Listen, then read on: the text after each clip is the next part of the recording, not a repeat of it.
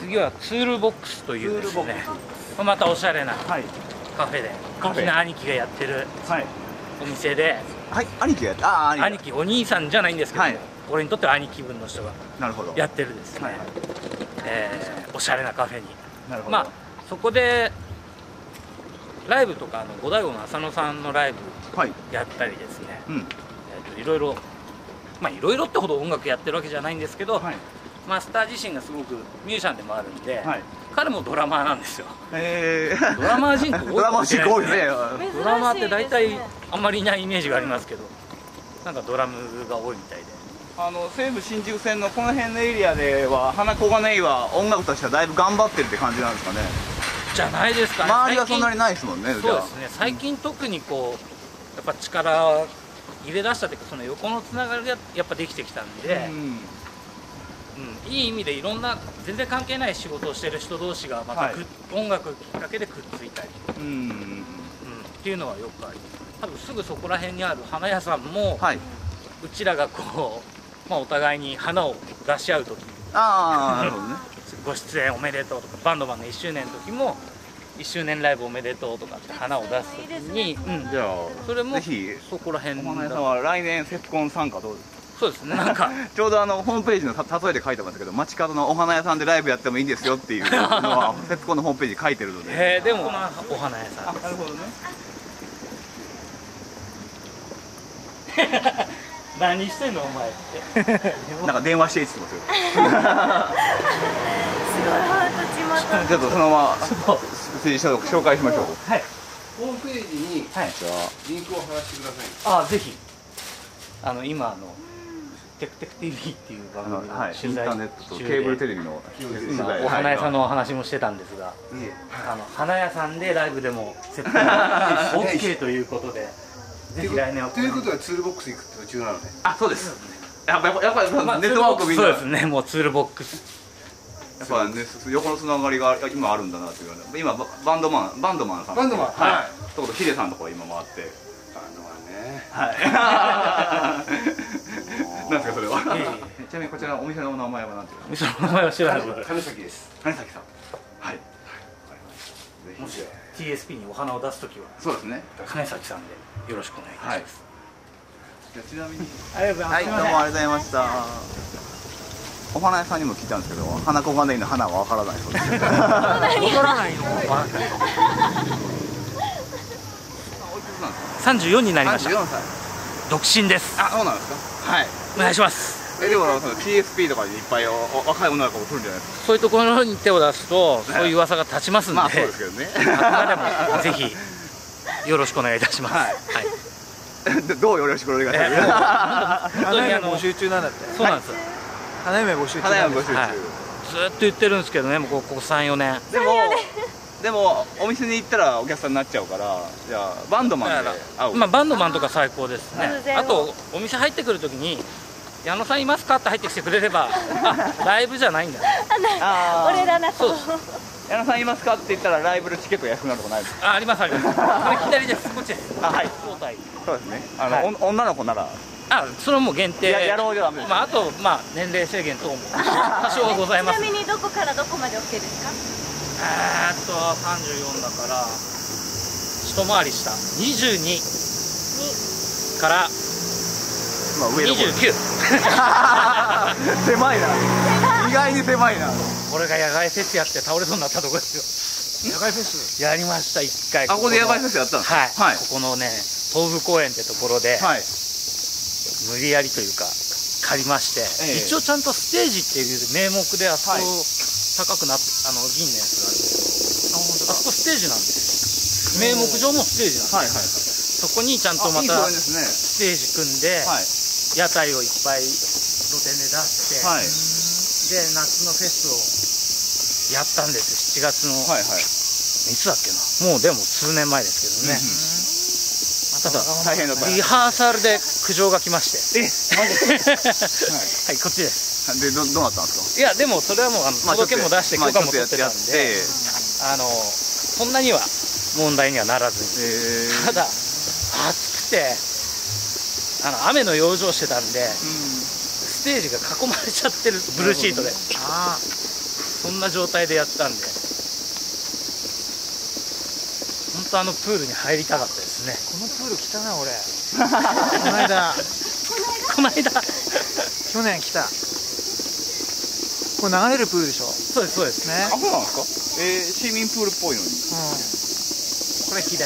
はい。昔はウォータースライダーとかあったんで今もうないんよ今ないんですよ、でちょっと分かりにくいっていうか、まあ、隠れ家的な感じなんですけど、はい。あそこなんです。はい。もうあるんです。見えてる。あそうなんですか？全然わからないですけど。そのフェスは1回で終わっちゃったんです1回で終わらせました。終わらせた。無理です。1日5回ず5回ステージとかうん。やってたんでそれはやっぱりそのちょっと街を盛り上げよう的そうなところですね。まあこの辺の商工会の人にも頼まれてたのがあって、はい。でこちらです。ここは絶対女の子大好きです、はい。大好きです。っていうかあの看板も何もないんですけど。えー看板はちょっとだけあそこに。あこれですか？はい。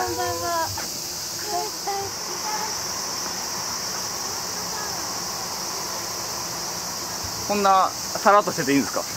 あんまり宣伝しないらしいそうですね。あ本当だ。これはこれでちょっとカフェっぽいですねお邪魔します。きすごい。可愛いそうむ梅さんロードサイクル好きなんですよね。あそっかそっか。はいお邪魔します。ここもまたはい。あちなみにあの FM のはい。新アナウンサーと言われてるあすみません。あサオリンこと長谷沙織あ映しても大丈夫ですはい。えはい。やってるんですかはい今終了ここまで回れてきたところですけど。はい。こんにちは。こんにちは。よろしくお願いします。そんな清楚な感じなんでいやこれ今ちょっとあそういうことですか。ビジネスビジネス。というわけでお店の中入ってきました。こちらも矢野さんのお知り合いなので、えー大のおすすめのお店です、はい。素敵なお店ですね。ありがとうございます。はい。よかったらお名前の方はよろしいですか。あツールボックスの、えー、オーナーやってます小山です。よろしくお願いします、よろしくお願いしますけですごいおしゃれなカフェですけど、でもあんまり表から見るとカフェこう宣伝バーンとしない感じですけど、あの大きい釜開けちゃうとどうしてもはい。雰囲気がファミリーレストランに近くなっちゃうんで。はい。そういうコンセプトはい。でしょとか言っちゃった。んですはい。あの一人で来ます。はい。一緒一緒に行きましょう。お待ちしております。兄貴なんです。なるほど。先ほど言いましたその、はい。まあ、花子金の3人はい、うんの、えーちょうど真ん中に当たる方ですよね、はい。ボス三人ボスのボス3うちの一人。そうです、はまあ、まさにボスなんですけど。いやいやいい、いろいろと音楽シーンを盛り上げてくれてるというか花子がね。音楽シーンだけじゃなくてだけじゃなくて。花子金全体を街時代を。盛り上げようやそうちょうどねあの矢野さんのところ同時期にはい。あのうちもオープンしたんでね。はいはい。やっぱ私がすごく強く反応して「花子がねにライブハウス作っちゃったバカがいるんだって」みたいな「どんなバカだよ」って。やっぱそんな感じだったんですそうです。花子がねネイにライブハウス。っそうですそうです。ていう雰囲気ではあったんですええ。あそうなんですかそしたら「あご子息さんでしたか。ああなるほどなるほど。うちのあのねはいそろばん塾の方に通っていたあだいてます。あーなるほどなるほど。あのお住まいは花子ねではないんですよね。違うんです。ですよね、はい。来たことはあるんですか？あのー、2005年からはい。小金井公園で毎年セはい。プテンバーコンサートやってるんですけど、えーそこ会場に行くには必ず花小金井から歩いてあ行ってるんです。あとつい去年あはい。あのープールを探して はい探しててあそこのプールにええ。来まして、ああそうなんですか。えさっき急に思い出しましたよ。ええ。ここ来たばっかりだ。えまあ。でも多分みんながそのレベルなんですよ、ですええあー。なんであの矢野さんとよく話すのは将来的にはじゃあ今日やることねえから花子に行ってみねみたいな。うんそういう街にしていきたいねっていう話からなんかこういろいろ発展していろんな人と知り合って。うちのリハーサル終わりの控え室はここになってるんです ゆっくりここはもう本当にくつろぐ場所で、うん。マスターのこだわりで時計がないんですよ、そう。時計好きなんですよ。だけど店には遅れちゃい。ますねでもねそうゆっくりしすぎてね、うん。でもここで仲良くなったミュージシャンたちがまたユニット組んだりとかあるんですよ。でこれはねぜひ見てほしいんですけど、はい。まあマスターの車も後で紹介したいですけど、はい。このどこ行きましたかね。メニューの。ですねこのメガ盛りカレー。はいこれ食べ盛りの矢野がですね。食べ盛りですか？ずい。ぶん長いの食べ盛りですけど。大盛りじゃ足りんということで、大盛りじゃ足りない。えー約2倍ですね。はい。はいそうです。女性のあのウエイターの方が持てなかった。重すぎて持これてねえ誰が食べるんだとこれホワイトカレーがはい。美味しそう。結構出るんですよ。女の子好きですね。そう。白カレーってそうなんか見た目はクリームシチューですがって感じです。後からカレー。クリームシチューよりちょっとサラサラしてる感じでちょっと生姜が強い。はい。そうです温まるんで。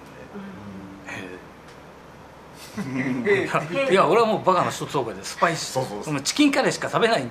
メニューいらんないっていう。カレーはチキン。そうなんですね。後の方にこのちょっとこだわりのあれですかこれこれはもう本当にこらっていうですよね。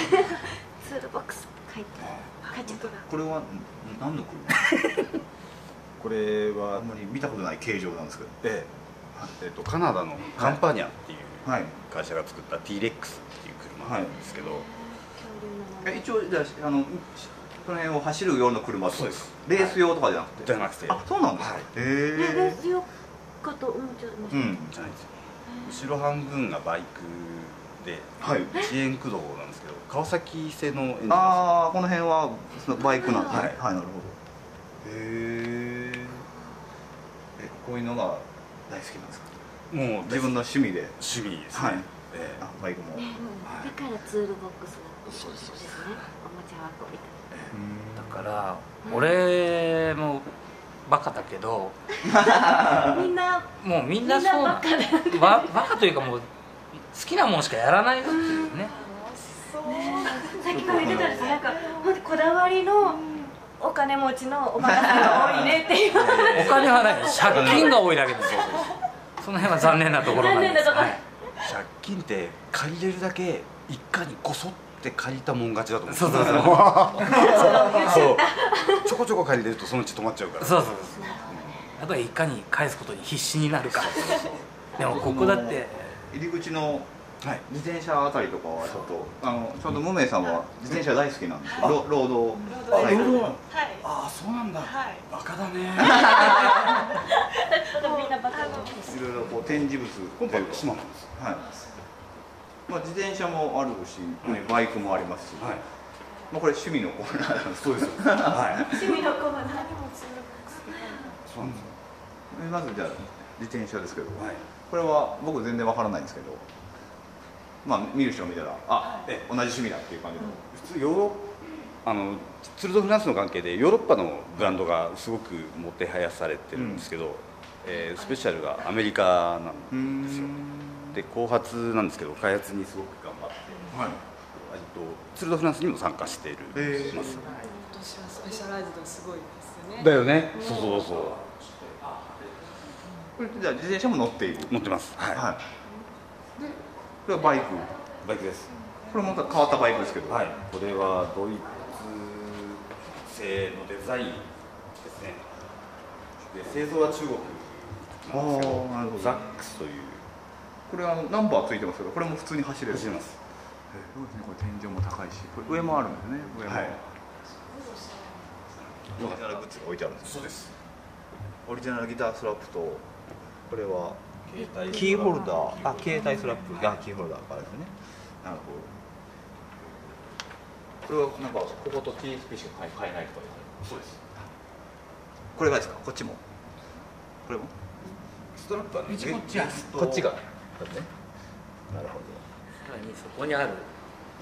それもね開店記念でもらったらしいんですけどマスターもミュージシャンなんです。はい。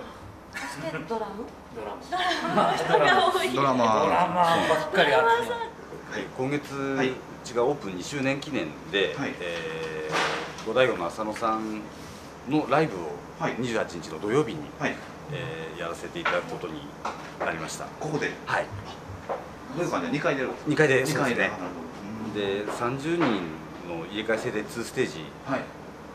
えー今計画してまして、はい音作りはもう全部あの矢野さんにお任せということでそこにも俺がいるんでぜひお願いします、はい。これはギターインストライブって感じなんですか？そうですね。なるほど。はい。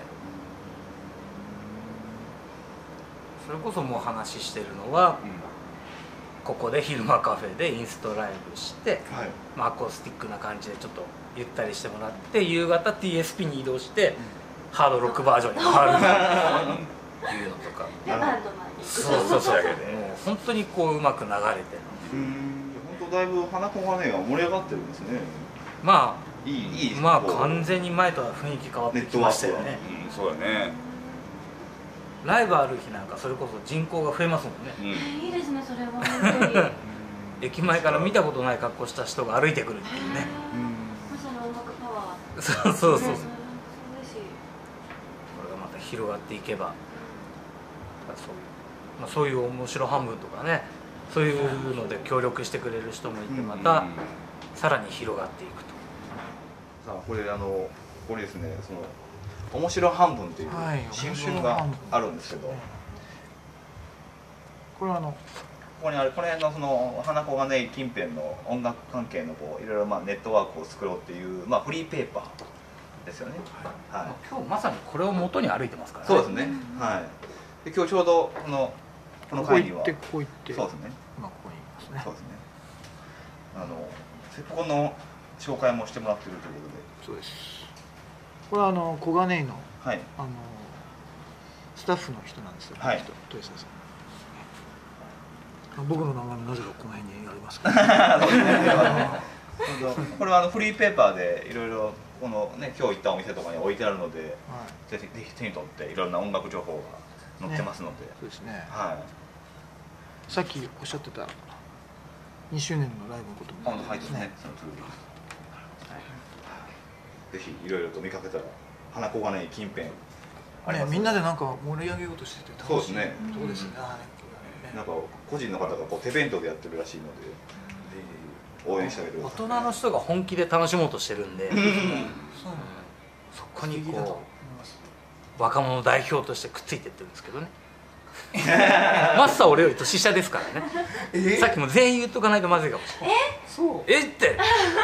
マスター全然俺よりも全然でもないかもしれない。ただマスターも独身。はい。そうそうそうそうなんか小金井の人は独身が多い。独身なんですそうなのえこのままだからじゃない。だーっと。ママだから。だ本当このお店だってなんで花子金井に作ったかっていうぐらい、そうですね。うんどうやって作ったんですか？あのきっかけとかご縁はあったんですか？ここに。えっ、とやっぱそのなんだろう、えー例えば恵比寿とか、はいその商業地域って呼ばれるところだとその瞬間的にねあの話すだけでなかなかこう継続して足を運んでもらうのって難しいと思うんですよそういうんじゃなくて、えー自分が生意気だった頃やっぱ喫茶店があってそこのマスターなりは普通なんだけどおっかない人でそうそうあの学校行きたくない時とか行くとねあの今日これしかないんだって財布の中見せるとじゃあ200円でソーダ水飲んだけ。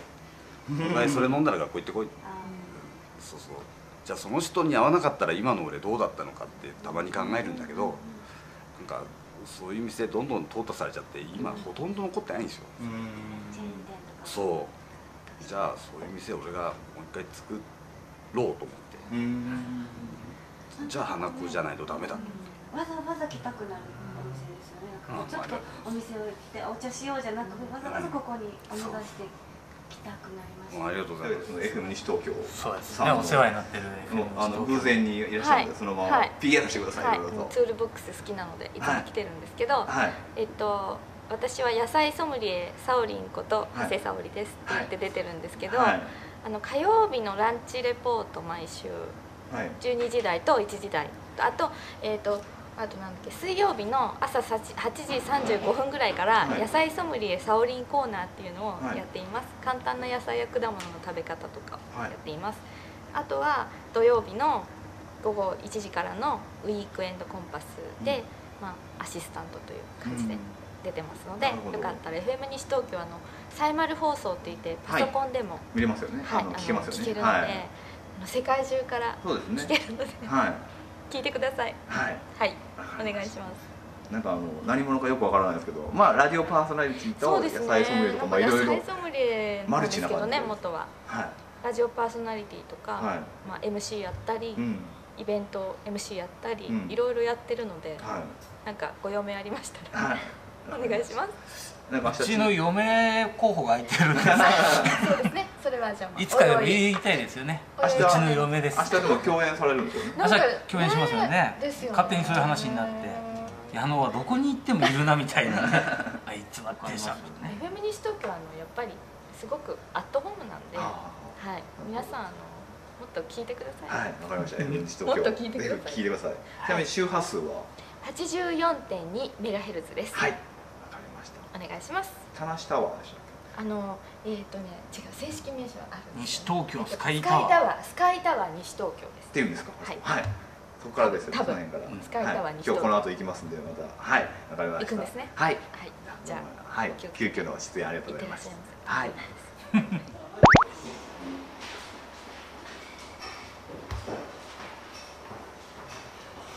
はい。というわけでツールボックスさんのところにはい。終わりまして。はい榎木さんここで接種はい、とい。うことで。お仕事行ってきます。はい。改めて行ってきます。はい。お疲れ様でした。はい、ということでありがとうございます。行ってきえます。道わからないかも。ええまあすんげえ簡単じゃん。まっすぐ行って右行けばいいだけ。ですあっちあっちあっちはい。了解です。ちょっとあの行き道で迷う感じはびっくりするんだけど 今度ははじゃあい。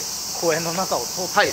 次はどちらに？えっ、とまあ PSP の前にですね、はい。ここのそうですね。ジミーズパラダイスっていう屋台の、はい。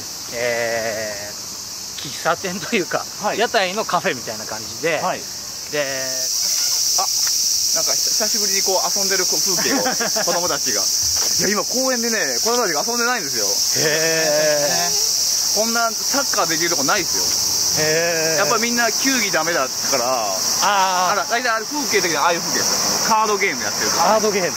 公園でテレビゲームやっている。へえさすが。この辺はやっぱ花それこそ今ああいう鉄棒とか危ないからそうですね。撤去しちゃうとかね。そうなんですよ。いやこんな草サッカーを久しぶりに見ましたよ。しかもなんか男の子と女の子が一緒にやってる。そうですね。あこれあれですか？緑道ですか？あそうですそうですこれがあのあのテクテクはもうここういう緑道を中心に歩いてるんですあもう緑道といえばテクテクなんですけど。こんな感じのとこなんですよね。あそうですね。もうこれがもう、ま、向こうの方がああ綺麗な緑道ですね、いいですよこれ。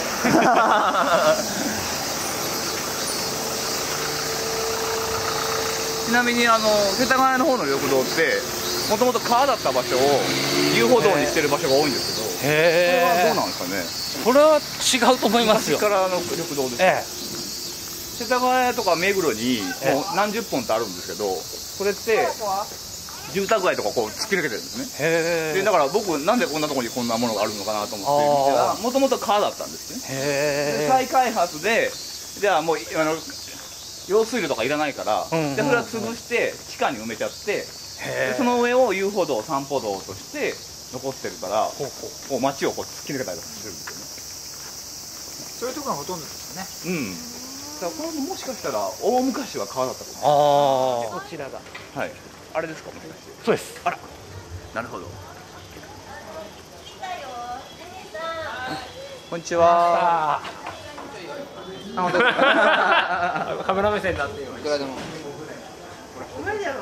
なんだ緊張しなくていい感じだから大丈夫 まだ全然わかんないですから。ね、うん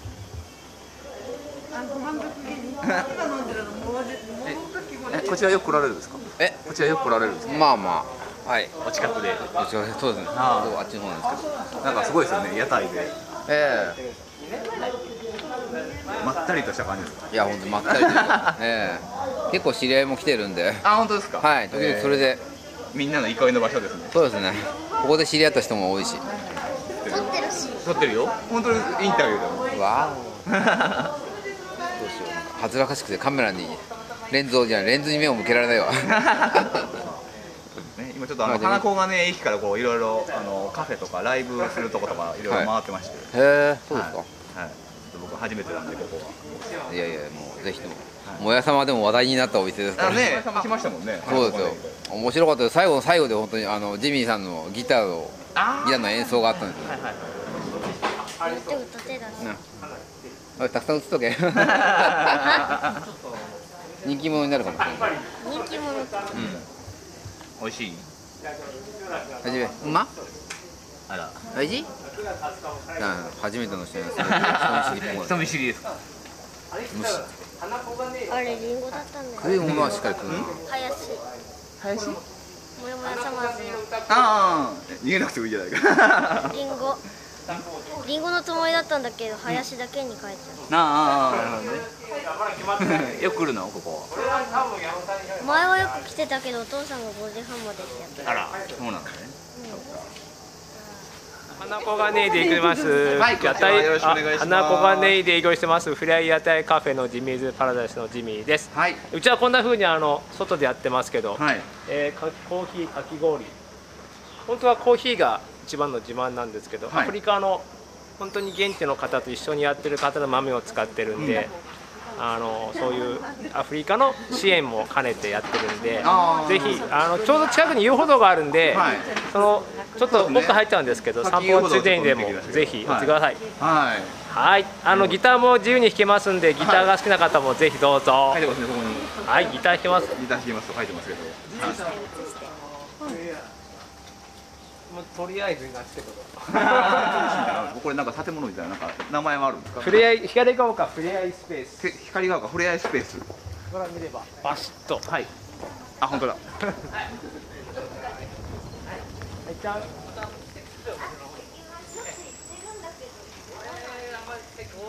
そう、まあ、ショッピングセンターの一部を借りてるっていう。そうですね。はい。ね。だからなんか機会があと冷たい体育もあります突然来るな商店街のところの軒先で定期的に。あここはずっとずっと。月曜日以外はい。いますんで。まあでも普通のお店と一緒で営業してるとかいるから。はいはいはい。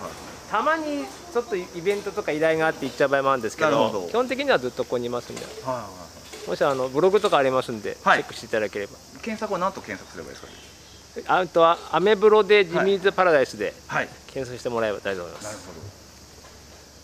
ほど。じゃあコーヒーとかいろいろと紹介してもらっていいですか？商品というかまあメインはコーヒー。そうですね。あいろいろありますね。エスプレッソとかカフェラテ。はい。ここは、はい、本格的な。しかも安いし。まあこんなもんですよ。安いですね。あそっちで嬉し。いいや安いですよ。物的には全然安いですよ、うん。でもまあでも屋台だとここら場所的にもね、うーん。でまあかここで買ってみんなここであ中もあります。あ中もだ大丈夫ですねはいはい。い中も取ってもらえばはい。中もあるよみたいなあここもあ全然普通の店内とか。普通の店長でございますね。あはい。店店長スパイクを出してなんかいい匂いが。ありがとうございます。生姜で温まるし。はい。冷やしたい焼き。冷やしたい焼き。これは白タイヤクリームと小倉があります。えこうやってし冷やしていただくものなんですか？どどっちでもいいんだけど。今時期的にじゃあちょっとはいちょっと食べてもらって。じゃあグルメレポート挑戦ですよ。初めてです。これどっちから食べるかすごい悩みますよたい焼きはね。ね。ねちなみに白いたい焼きを食べたことは皆さん今流行ってますないですね。泣いてるもあります花子がねなかったからやってみようかなはい。へ美味しいですか？いただきます。はい。冷たい バッチリ冷やしますよ。冷やしです。あのあ。焼いたやつって食べたことあるんですけど冷やした方が好きかも白いの最近結構すごいもちもちしてるんですね。こちらオープンしてどれぐらいなんですか？おここ自体は、はい。だからだ去年の4月からだから、はい。まだ3か月ぐらい。あただ向こうで10月からやれやってたんで。うん。そう。でこのままずっとここでやる予定で。4月来年の3月まではここにいますああなるほど。なんか期間限あのなんか1年間だけなんですよ。一応決まってるんですね。そうそうそう。はい、でそれが終わったらどどうなんですか？いや見て。これからです。ああの出張しますので出店場所募集中です。あなるほどね。なるほど。相談してください。あのどこでも行きますので。えー。どこでもその車大体2台分あればカフェになります。あはいはい。これで実際移動できるんですか？でここであのあのここに来てここで帰りますから。あそうなんですか。へえ見せてもらっていいですか？どういうシステムになってるんですか？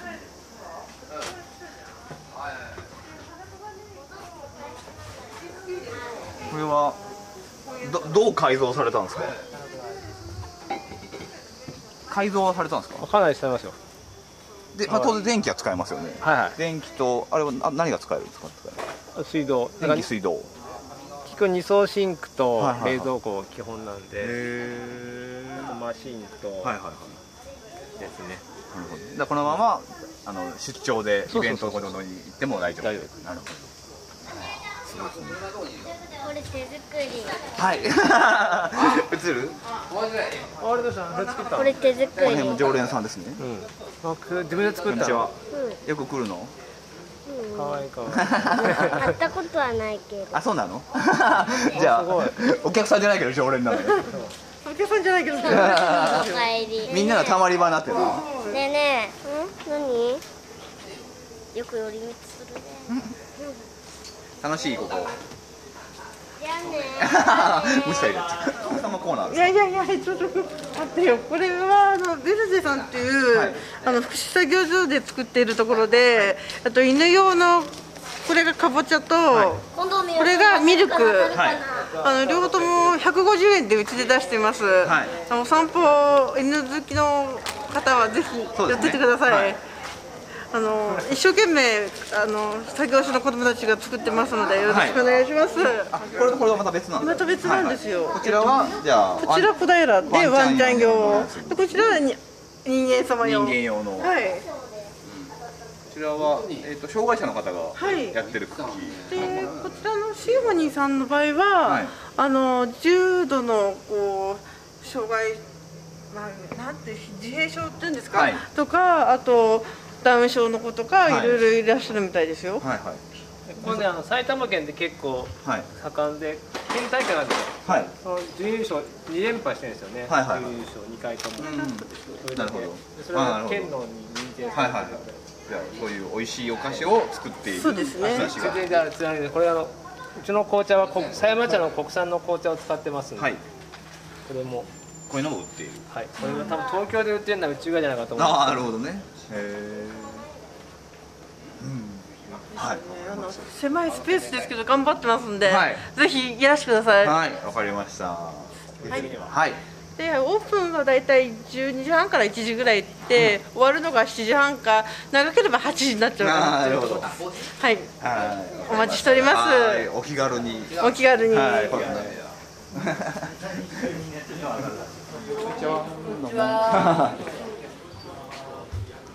じゃあ矢野さん、はい地元ということで地元の同級生のお父さんお母さんがやってるお魚屋さんです。はい。はい。珍しいでしょこういう。魚屋は。あらどこの人かと思った。ら社長だやっぱ顔見知りですね。もちろんそう。あのカラオケ歌いに来てくださったり。みんなもう俺がガキの頃からもう知ってるんですね、はい、よくここで買って刺身をいただきます。はい。お魚も買ってねって感じですそうですね。はいあのああいうのもいつも貼ってもらって。ああなるほど。はい。ああじゃああれですね。もうなんかあれば。これが目印って言ったそうです。もう玉川玉川さんも曲がってっていうこと。これが基本ですから。なるほど。わ今日は終わっちゃいました。ええ。はい。じゃあここはい。玉川さんのとこ曲がると。玉川さんを曲がると、はい。もうアホかと。っていうかここにあのそうですね。あれがまさにあのあはいはい。俺が育った育つためにあったもの。でもうあれがもううちです。はい。そのまんま俺んちです。ああなるほどね。でえーまあ親父がそろばん塾をずっとやってたんで、ええまあうちまあ俺は独身なんでそんな広くてもしょうがないんで、はい。ちょっと場所をまあ土地は借りてるんでなるほど。建物としてはこちらを使っていただこうということでこういうライブハウスがありはい。ライブハウスの入り口がある。あなるほど。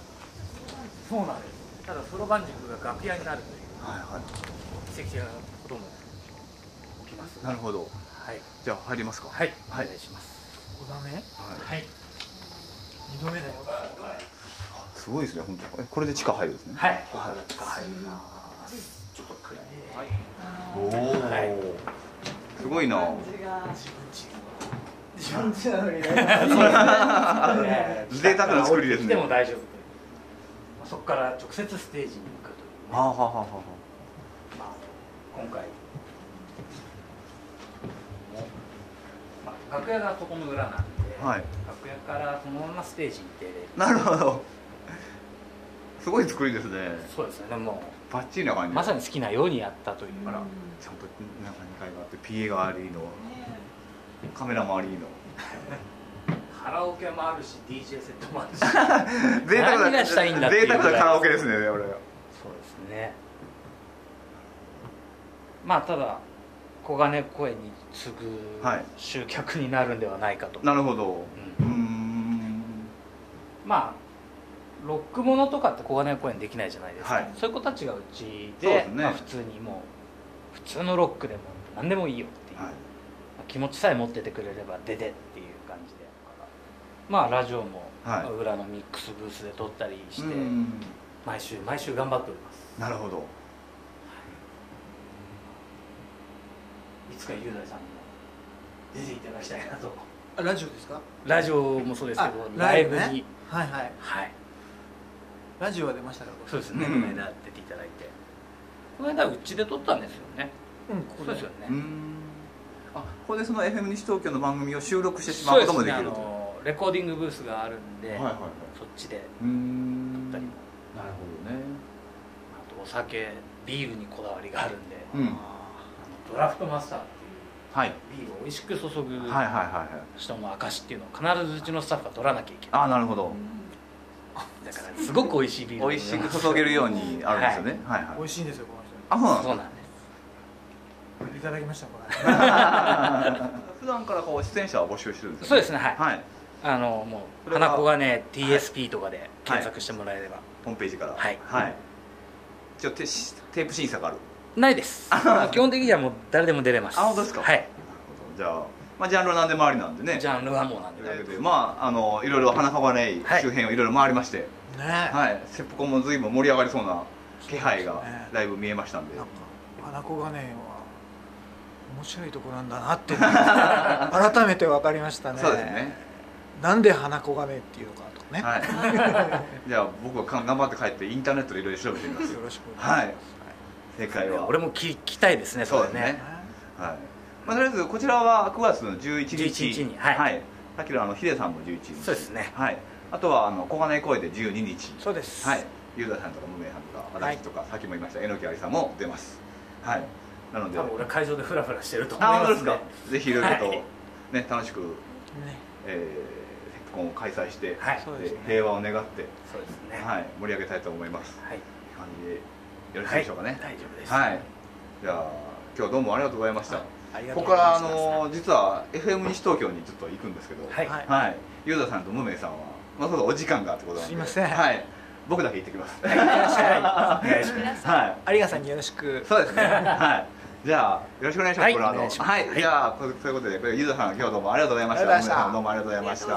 FM 西東京行きました。たどり着きました。はい。こちらでいろいろとこう PR をしてもらっていうですね。あの番組でも、はい。うちの番組もやらせていただいてますし、セプコのこともまあいろいろ取り上げてもらったりなるほど。えー明日も急遽セプコンの宣伝番組出ることになったんですけど、はいえーさっき言ったサオリンと一緒にですねはい。えー喋ってこようと思います。伺ってみましょう。はい。はい。こんにちは。お久しぶりでございます。お久しぶりです。どうもはい、はい。去年あのセプコンの打ち上げのところでインタビューをさせてもらいましたけど。そうですよね、はい。打ち上げ僕ピューといなくなっちゃった。んでいつもいなくなりますねはい。じゃあお名前よろしいですか？はい。FM 西東京チーフディレクターのまこっちゃんです。大塚誠です。よろしくお願いします。はい。よろしくお願いします。はい。ではですね。はい。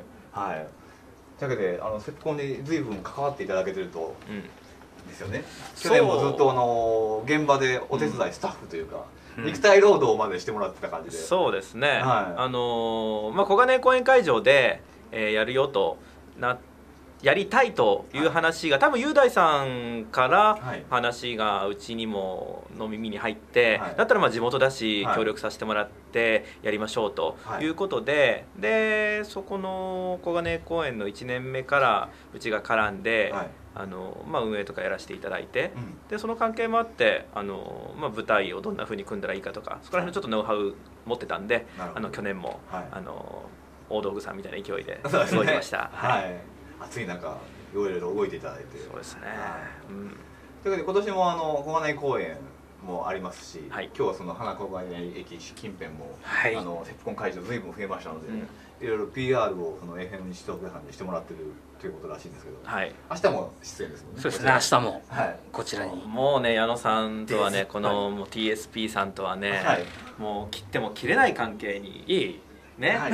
仲良く。まあ。楽しくね。たくさん盛り上がってるんですね花小金井近辺。そうだからね本当ねや矢野さんを中心にというか矢野さんもねその中のであのすごく動かれててだから今花子がねがね本当にこう音楽でいろんなお店とかいろんな人がつながり始めてて、それがもう本当にこの数ヶ月とか半年とかのことじゃないですか一気にここまで形が見えてきたのが。だからそれがすごいなと思って、うん。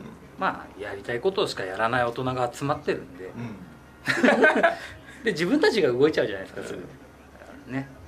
だセプコンとかもそういうふうにこうちょっとやりたいなと思った人が、すぐパッて動いちゃえば意外とこう仲間って集まってきてできると思うんですよね、なんか構えないでうちなんかもどっちかっちゃ会場提供、であとは演者さんが作り上げてってくれるもんだからなんてことは明日喋ろうかなと。そうだからね本当にこの TSP の会場と、その小金井公園の会場っていうのがこの一つのこの時期のこの花小金井の音楽の盛り上がりをこうね示すいい場いいきっかけになるなっていうところですよね。まあ、そういうわけでその FM 西東京さんは、まあ、当然 FM あの西東京エリアで聞けるんですけど、もはやあの全国で聞けるようになったんですよね。そうですね、はい。あのサイマルラジオって言って、はい。あのもう普通にラジオで電波で流してるのと同じものを同時にあのインターネットでも出してるんで、あのホームページトップページからアクセスしていただければもうどこでもあのそれこそ言っちゃえば海外でもそうですね。え聞きたいって言えば聞いていただけるんで、つまりこのセプコンのこの PR にしても、まああのそそのアーティストさんの紹介でちょっと楽曲なんかもね多分 CD とかがあるのでその紹介できると思うんですけど、そんなものも、あのまあ、この地域の人も当然のことながら、もうどこにいらっしゃる方も聞いていただけるんでうん、うまくそんなものもねあの活用しながら当日に向けて盛り上げていきたいなというふうに思ってますね。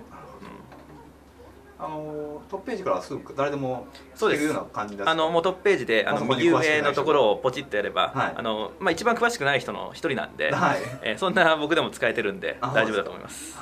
はい、じゃあぜひそのうちはもう一番組、はい。一枠一回使っちゃおうと思ってるんでセプコンの日にいろいろとまた収録して、それを後日流して、っていうことも考えてますんで、よろしくお願いします。よろしくお願いします。じゃあとりあえずみんなでセプコンまで盛り上げて。はい。はい、頑張りましょう。はい。